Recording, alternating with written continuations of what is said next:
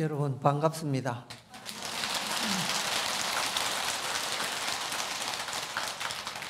네, 작년에도 만나고 아, 금년에도 만나게 되니까 너무 반갑습니다.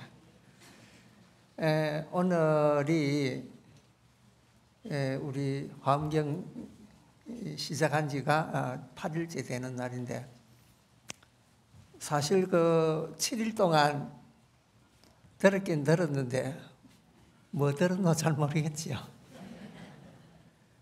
에, 환경이 그렇습니다. 환경이 그 우리 스님네들도 이 어려운 게 이게 환경이거든. 근데 일반인 신도님들은 더 이제 어렵죠. 옛날에 의상스님께서 중국 가셔가지고 이제 환경 공부하려고 원효 스님하고 같이 계획을 해서 중국 땅으로 떠나는데 원효 스님은 그 밤에 자다가 목이 말라가지고 물을 마시고 보니까 그게 아침에 깨고 보니까 해골물이라. 그래서 해골물 마시고 크게 깨달았다는 거죠.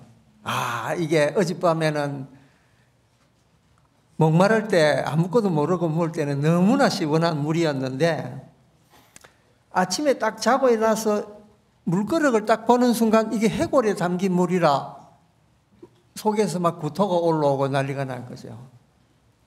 그래서 야, 이 모든 것은 마음의 조작이구나. 내가 이걸 안볼 때는 너무나 시원했는데 해골 바가지 안에 담긴 물이라는 걸 딱 보고 난 순간 이게 내 마음에서 이게 해골물이구나라고 느끼는 순간 구토가 일어났구나.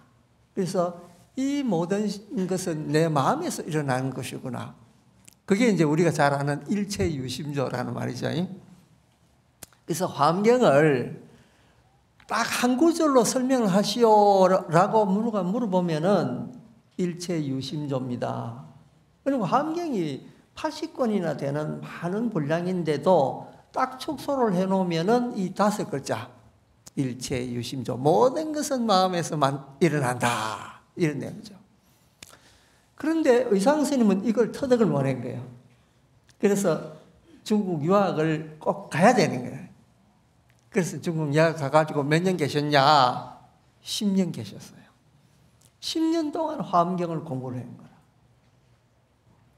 그래서 10년 공부를 하고 요새 말로 하자면 박사 해가지고 논문 쓰지 않습니까? 논문 쓴 게 뭐냐?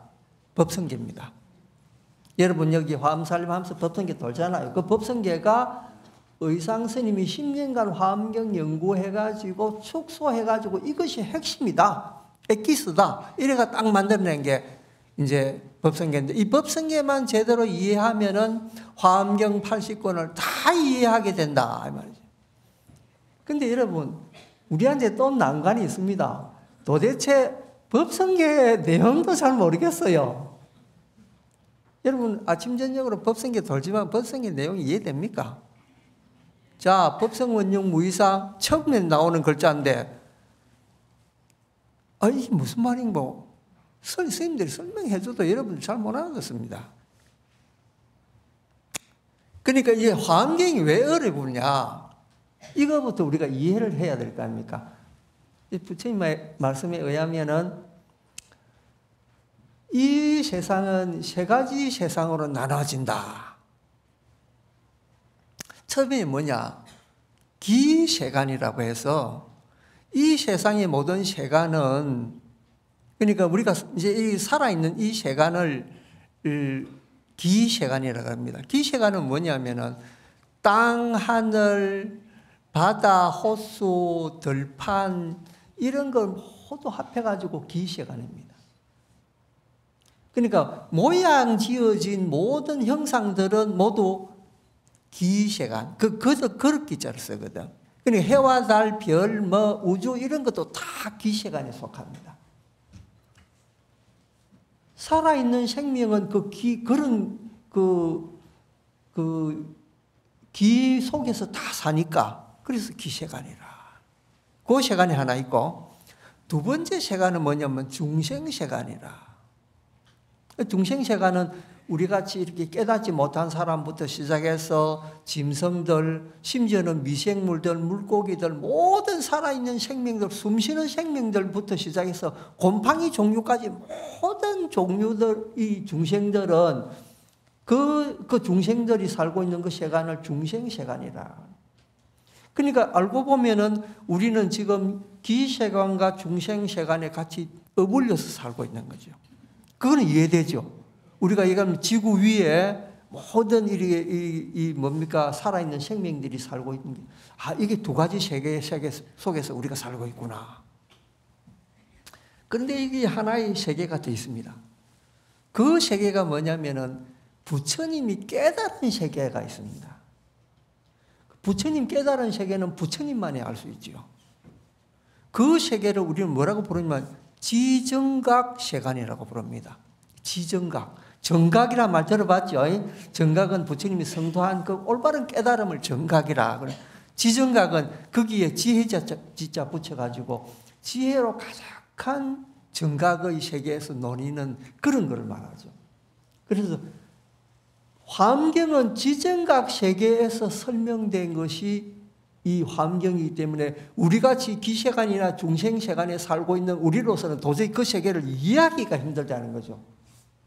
그러니까 여러분들이 지금 7일 동안에 들었긴 들었지만은 황당무계하고 무슨 광상 과학 소설이 나오는 이야기처럼 수많은 보살들이 출연하고 수많은 세계가 출연하고 이러니까 도대체 환경이라는 게 도대체 이게 내한테 와닿질 않아요. 어찌된 일이냐. 이게, 이게 인간 세상에 이런 내용은 아니라는 거예요. 그러니까 여러분들이 이해하기 힘들다는 거예요. 왜? 부처님이 깨달은 그 경계인 지정각 세계에서 일어나는 현상들이기 때문에 우리로서는 도저히 알 수가 없는 거예요. 그런데 여러분 너무 슬퍼하거나 걱정하지 마십시오. 제가 누굽니까?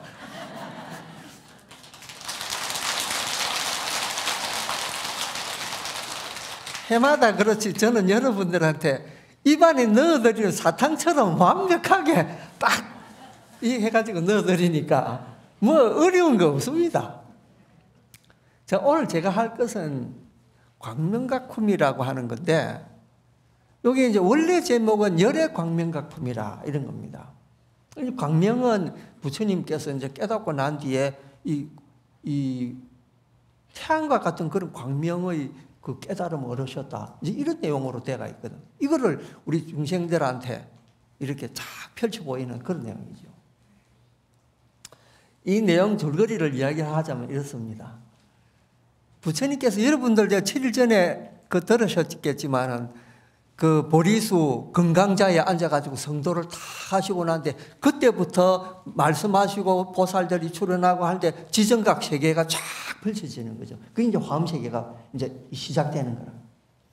그러면서 이제 제가 오늘 할 일품에서는 부처님이 턱 앉아 계시는데 발에서 부처님 발은 이 여러 가지 모양새로 되어 있습니다. 여러분 지금 부다가에 가다 부다가야에 가면은 거기 이제 부처님이 앉아서 깨달으신 돌이 하나 있는데 돌 밑에 여러 가지 이 무늬가 새겨져 있는데 거기에 부처님 발바닥이 새겨져 있는 거예요.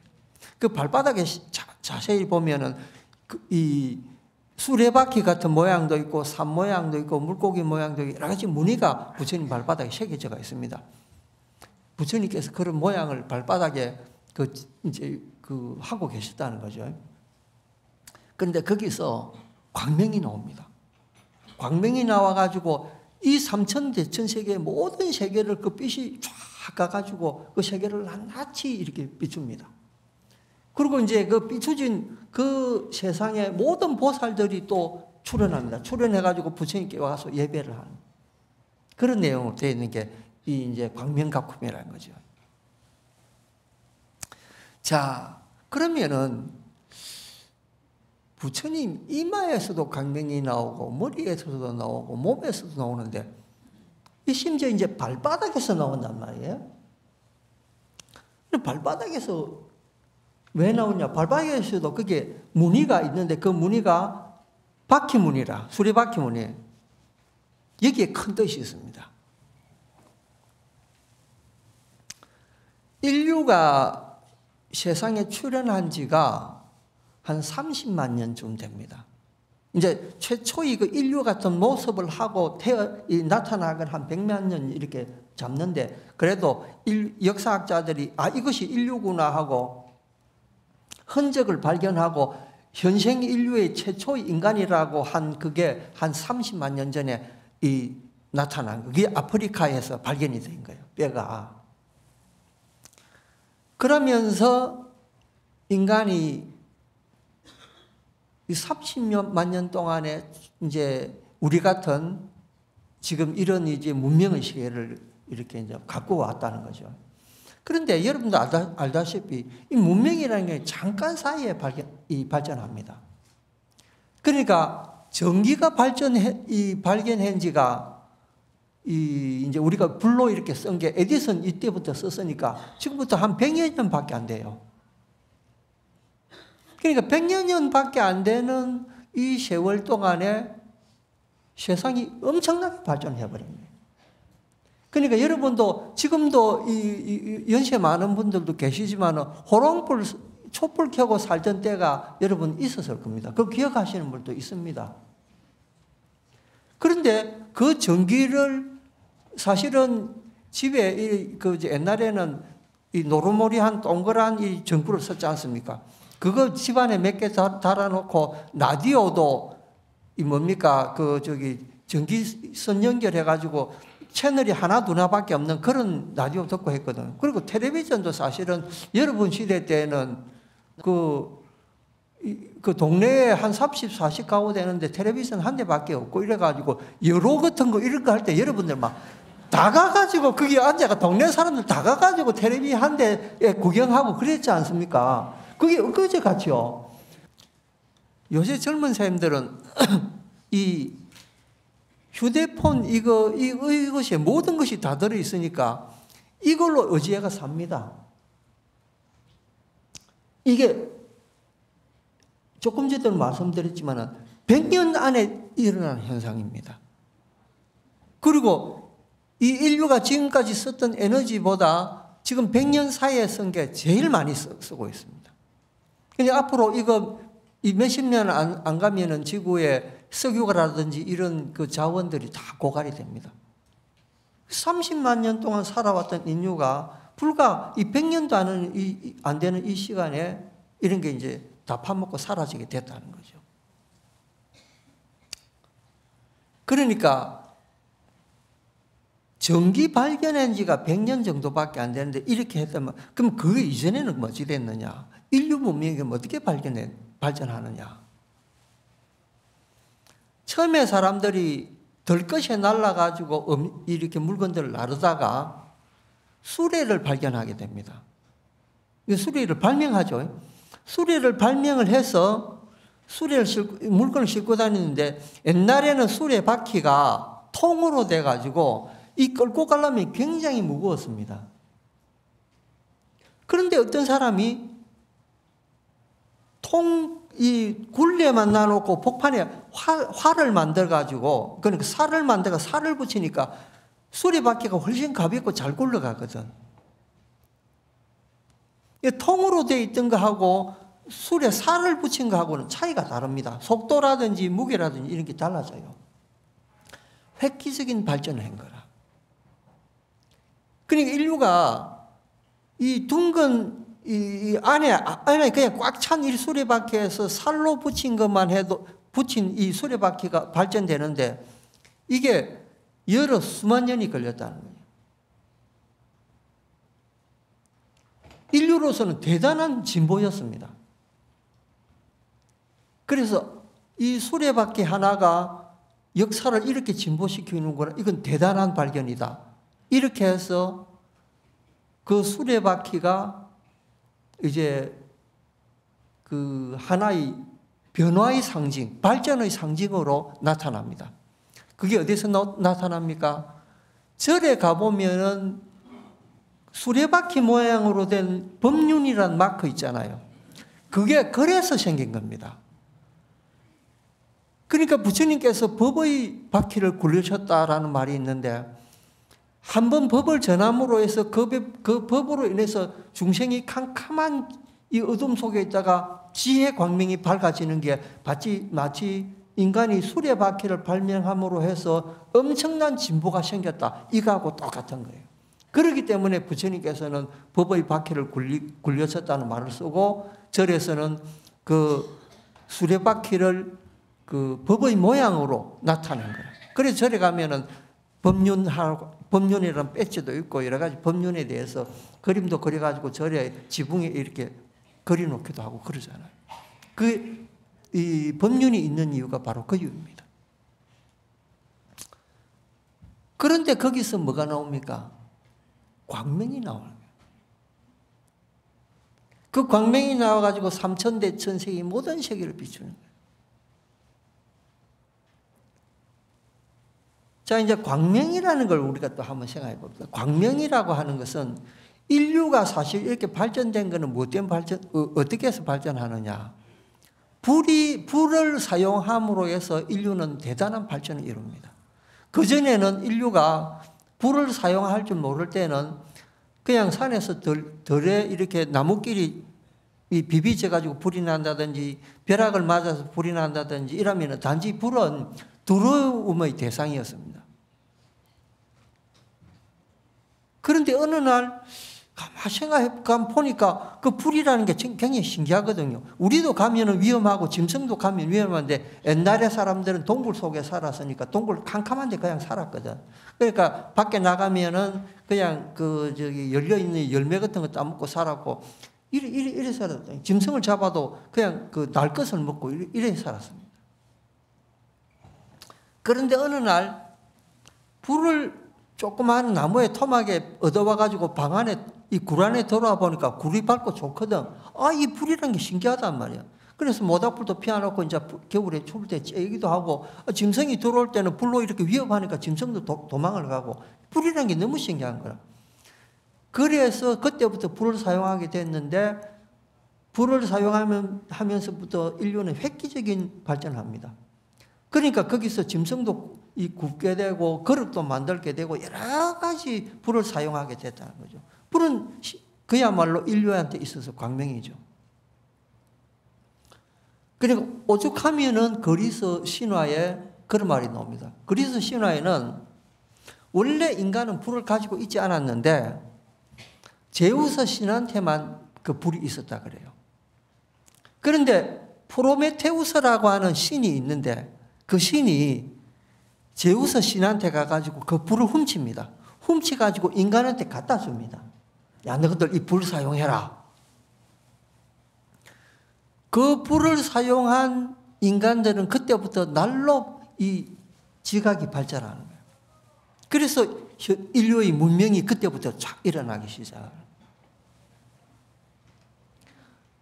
그 불을 갖다 준 프로벤테우스는 어떻게 했냐? 제우스 신이 노해가지고 그 사람을 바위 벽에 딱 이렇게 갖추고 독수리로 하여금 그 사람 심장을 쫓게 해가지고 매일 뜯어먹게 했다는 거예요.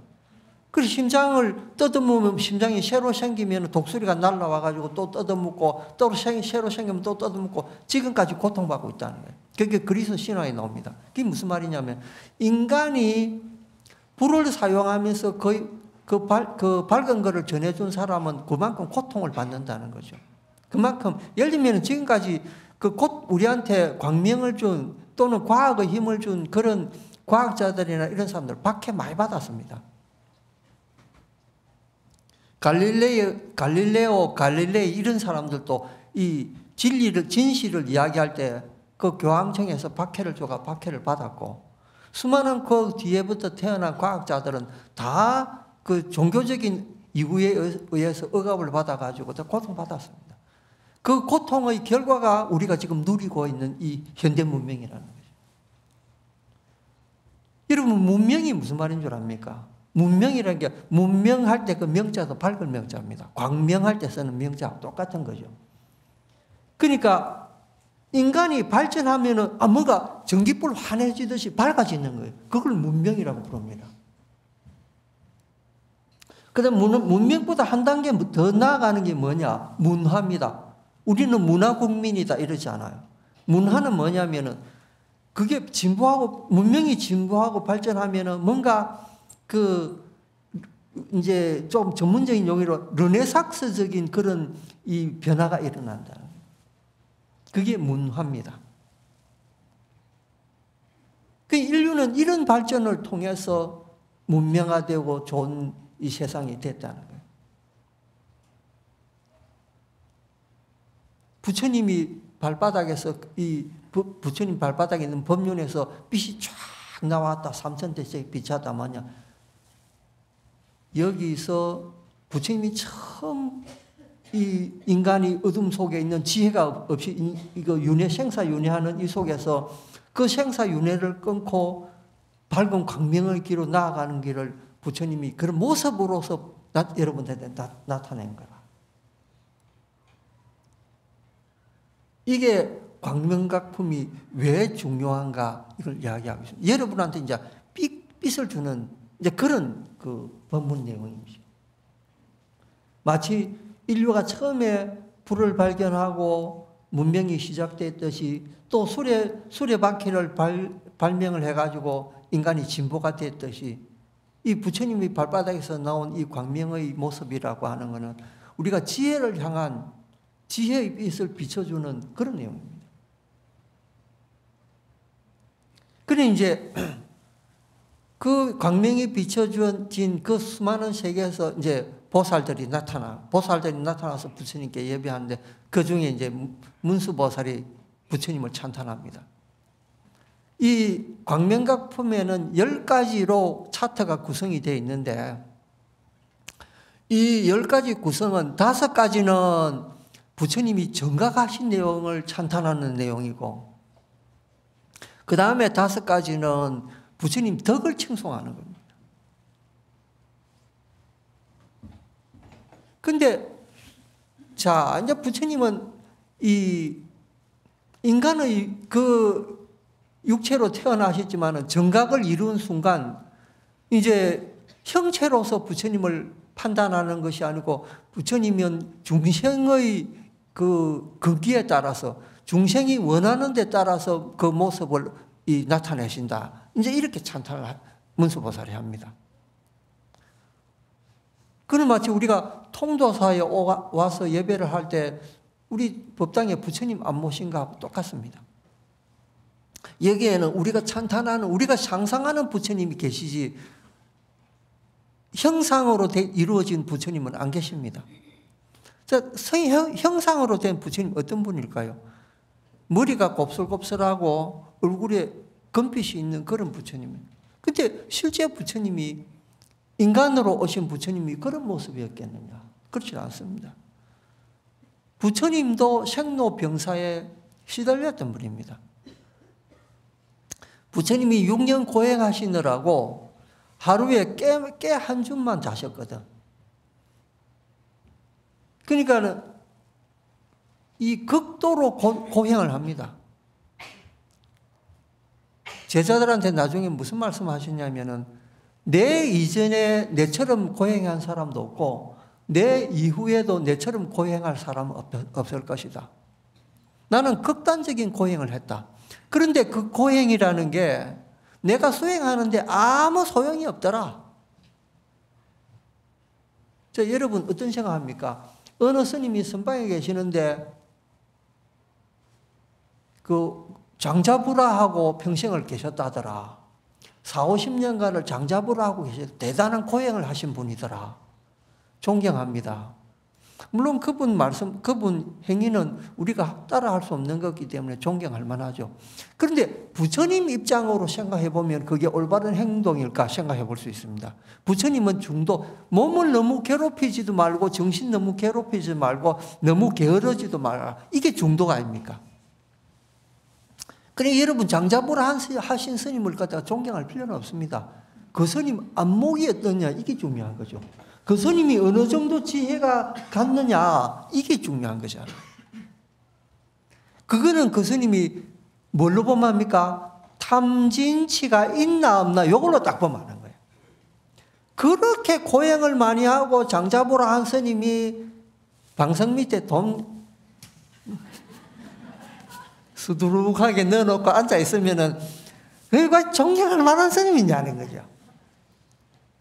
근데 또 우리가 이것도 봅니다. 어, 큰 스님이라고 갔는데 갑자기 상자한테 화를 팍 내면서 말이지, 감 지르면서 탐진지 삼족 중에서 진, 탐진, 진 이게 화가, 화내는 거 아닙니까? 화를 갖다가 엄청 내고 공양주 보살님한테도 화 버럭 내고 이런 반찬 이게 뭐냐 이러면서 막 화, 화내고. 아, 장자불에는 오래 했어도 돈은 안 통했구나. 이게 왜 이래 봐요. 그러니까 큰 스님들 이게 딱 보는 기준이 있다는 게 부처님 이야기 해 줬습니다. 매주 그, 그 중노릇 오래 했다고 큰 스님이 아니고 고행 많이 했다고 이 큰 스님 아닙니다. 탐진지 삼독이 있나 없나 이걸로 판단해야 돼. 이건 제 이야기 아니고 부처님 말씀입니다.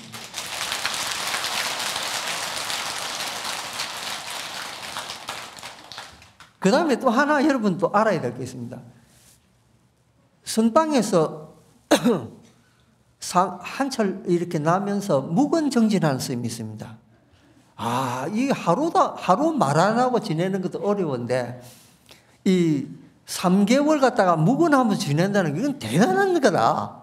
물론 존경할 만합니다. 근데 부처님 입장에서 봐야 돼. 아, 이게 오늘 여러 가지 이게 가르쳐 드리네. 부처님 입장이냐면, 어느 스님이 이제 부처님한테 여쭈었습니다. 부처님, 요번 안것 동안에는 제가 묵은하겠습니다.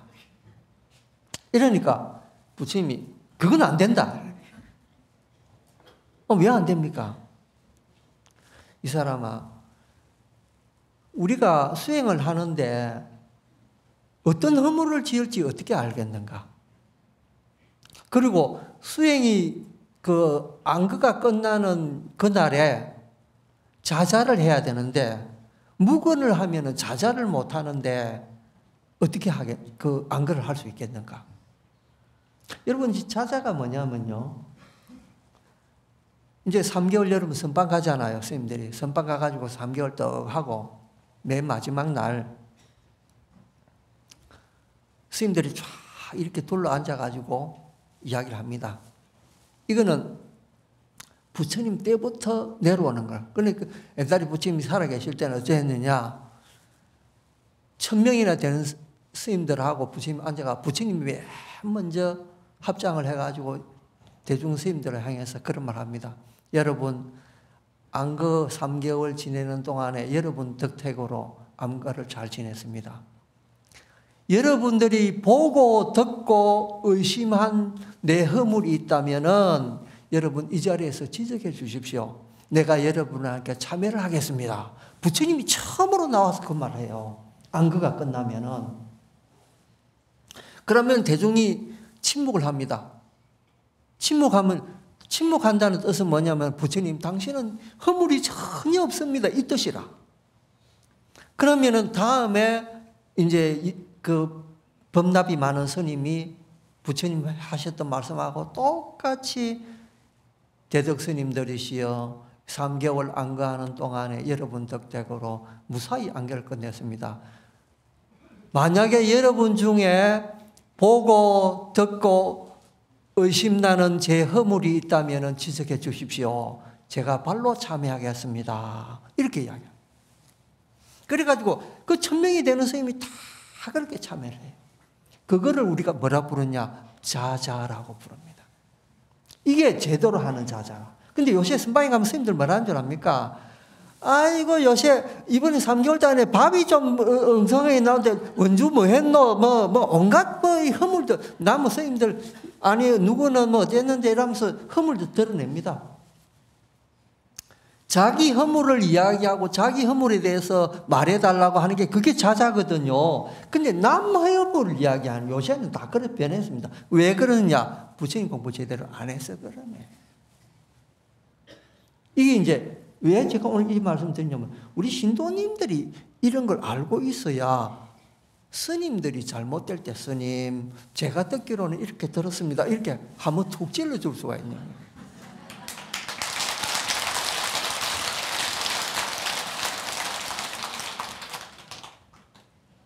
그리고 이제 우리가 이제 그 보름마다 포살하잖아요. 포살할 때도 그렇습니다. 포살할 때도 예를 들면 내가 내가 뭐가 아 뭐가 허물이 있구나 문제가 있구나 이러면은 스님들 앞에 가가지고 자 이제 참여를 합니다. 스님 내가 이번에 이러 이러한 허물을 지었으니까 용서해 주십시오. 그럼 대중 스님이 듣고 있다가 음 침묵을 합니다. 침묵은 허, 괜찮다는 뜻이거든. 용서해 주겠다는 뜻이거든. 그래서 스님들이 침묵하고 있으면은 대표되는 스님이 스님은 이제 그 죄가 없어지고 청정해졌습니다. 이라거든. 그러면은 그때부터 포살에 참여를 할 수 있습니다. 그래서 포살을 할 때 여러분 이 대목에서 청정하십니까? 이 대목에서 청정하십니까? 이렇게 세 번을 이야기합니다. 그러면 대중들이 가만히 있으면 다음 이 파트로 넘어가게 되거든요. 그래서 포살은 그렇게 하게 되어 있습니다. 그래서 포살은 하기 전에 자기 죄를 깨끗이 없애고 나, 난 뒤에 그래서 포살을 하거든요. 그 절은, 절에서 말하는 포살에는 뭐냐면은 죄를, 죄는 태산 같은데 죄를 없애는 방법은 가장 간단합니다. 대중 앞에 그냥 참여만 하면은 그 죄가 소멸이 되는 거예요. 그래서 불교에서는 죄는 무거워도 벌은 가볍다. 이런 거죠. 조건은 뭐냐? 자기가 스스로 참여를 하는 게 이게 중요합니다. 그러니 여러분도 절에 오셔가지고 저기 기도하기 전에 뭐 합니까? 참여진음부터 먼저 하잖아요. 자기, 자기 그릇을 비우지 않고는 그 그릇에 다른 그릇을 채울 수가 없는 거예요.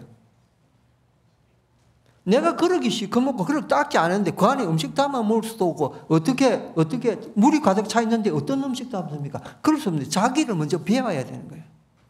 자기를 비우는, 비우는 데부터 우리 신앙생활이 출발을 합니다. 신심이 뭐겠습니까? 자기를, 자기가 자기를 낮추고 하심하는 거 아닙니까?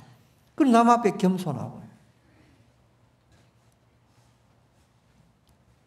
일본 사람들 어릴 때, 애, 어릴 때부터 애들 키울 때뭘 가르쳤냐면은 남한테 피해 주지 마라. 이걸 가르칩니다.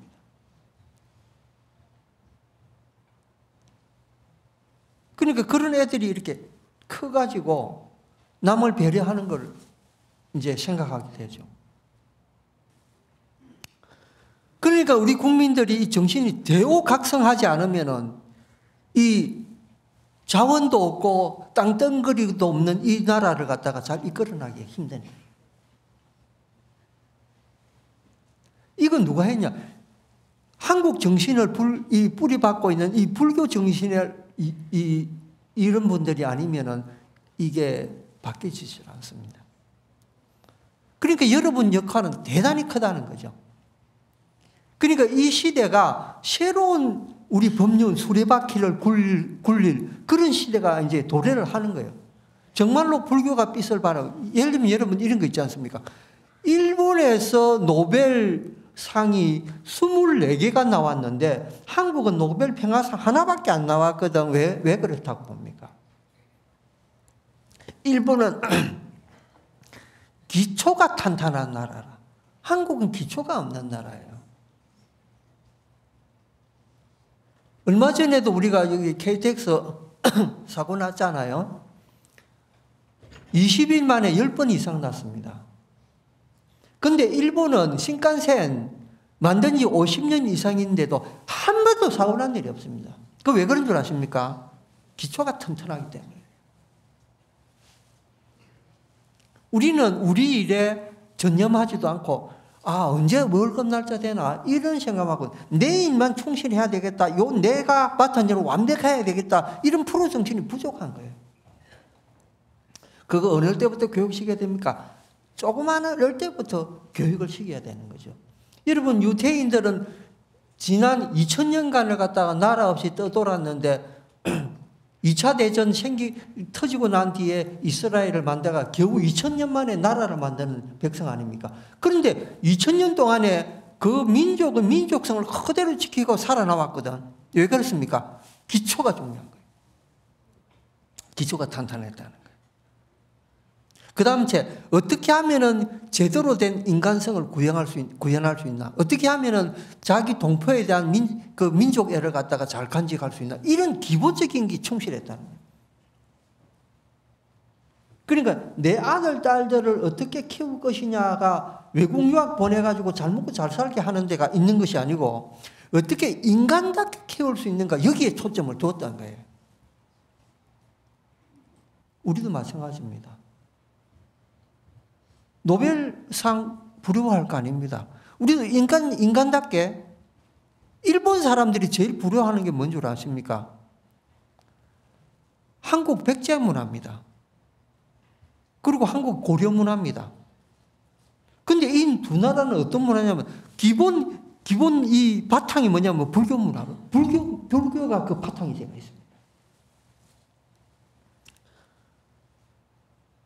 불교는 모든 것을 다 가지고 있기 때문에 왜 부처님께서 인간의 모든 기준을 두었기 때문에 불교만 잘 공부하면은 그 기초가 저절로 다져지는 인간을 배려하고 인간에 대한 연민을 느끼고 사랑을 주고 이런 모든 방법이 바로 부처님 말씀에 다 있습니다. 부처님이 온몸에 광명을 놓는다는 건 뭡니까? 우리는 새로운 세계로 인도를 하는 거예요. 부처님 말씀을 잘 이해를 할 때, 그때 우리는 우리로 변합니다. 여러분들 절에 와 옵니까? 기도해가지고 내 아들, 딸 잘 되게 해, 내 무병 장수하게 해달라. 우리 집 좀 잘 살게 해달라. 이것 때문에 뭡니까? 그게 아닙니다. 우리는 나를 변화시키기 위해서 절에 옵니다. 나를 변화시키지 않는 이 신심은 가짜 거짓 신심입니다. 매일 내가 내가 발전할 수 있어야 그게 제대로 된 신앙이죠. 그게 제대로 된 불교를 믿는 거죠.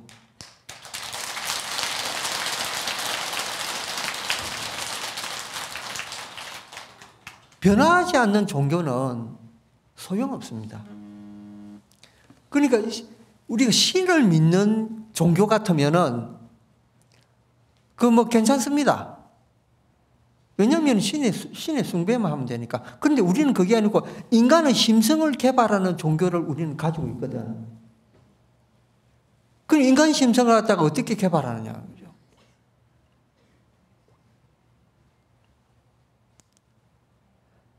부처님 무슨 이런 말씀이죠. 너 자신부터 봐라. 너 자신부터 볼 때 모든 것이 거기서부터 변화가 일어난다. 내 자신을 어떻게 봅니까? 불교는 이렇게 봅니다. 오온계공. 반야신경이 나오잖아요. 오온계공. 내라는 게 뭐냐? 오온이다는 거죠. 그게 부처님 말씀한 출발지거든요.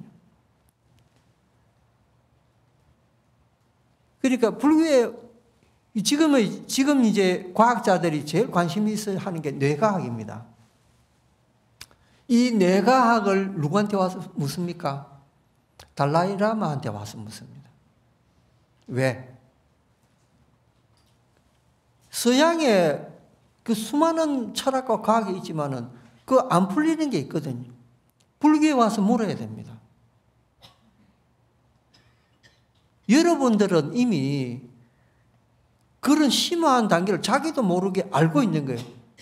서양 과학자들이 알고 싶어 하는 내용을 여러분들은 다 알고 있습니다. 반년신경 내용이 다 그거거든요. 색적 시공이라는 오온 개공이라는 다 그런 말이거든요. 요, 요, 것만 제대로 풀기만 풀면은 이게 이제 이, 이게 제대로 된 이 과학이 나오고 그래서 이 인류가 발전되는 거예요.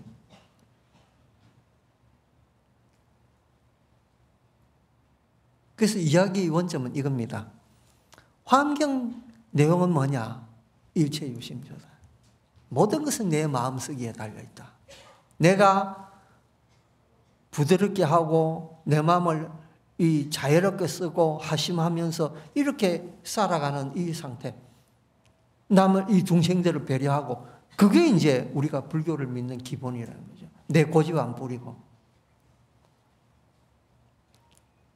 반야신경, 건강경, 화엄경 다 똑같은 내용입니다. 다 그런 내용입니다.